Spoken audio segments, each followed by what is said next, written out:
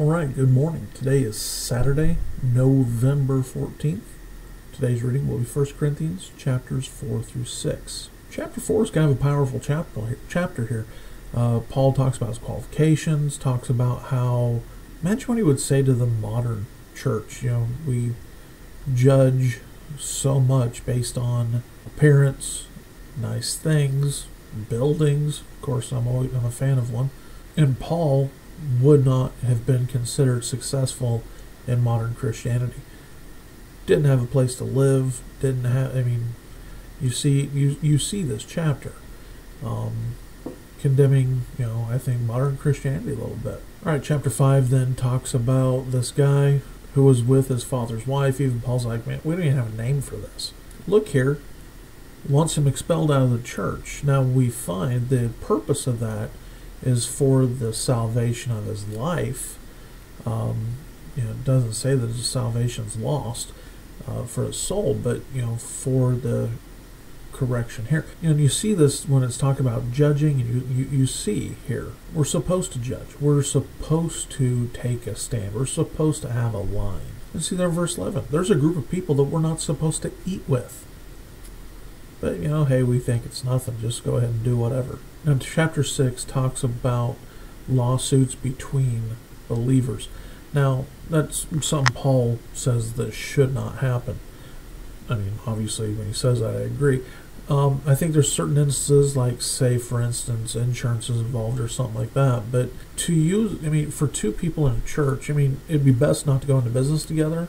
It rarely goes well. Uh, sometimes it does. But for us to sue each other, um, matter of fact, in our church constitution, when you join, you agree to binding arbitration should something go haywire. But you know, if we have two people in church and there's a loss involved, we're supposed to go before the church, present our case there, or we could go before the court system, you know, in violation of Scripture, and then people on the outside, I, I think, you know, Christians can't even figure out this stuff. There are several steps to church discipline, and I think it, and sometimes it is used too often for just cranky people or people we don't like. But the answer to almost everything is found there in verse 7. Why do you not rather suffer yourselves to be defrauded? You know, sometimes wrong things happen to us, and you know what? It's just life. I'm not saying that's always supposed to be the case, but you know sometimes that is the case. There's steps when somebody wrongs you in a church. Um, the first is go to that person. If, if that is doesn't solve it, I'm supposed to go, you know, find an elder, find somebody else, and go back to the you know to the testimony of two or three witnesses that's established. If that doesn't work, then I'm supposed to take it before the church.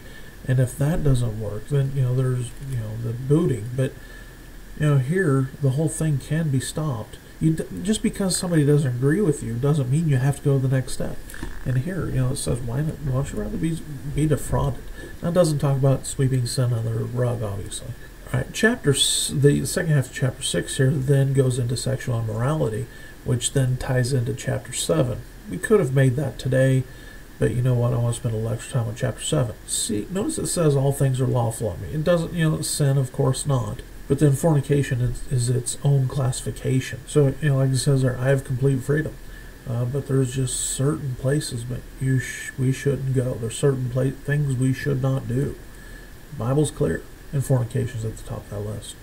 All right. Hope you have a great day. We'll catch you tomorrow.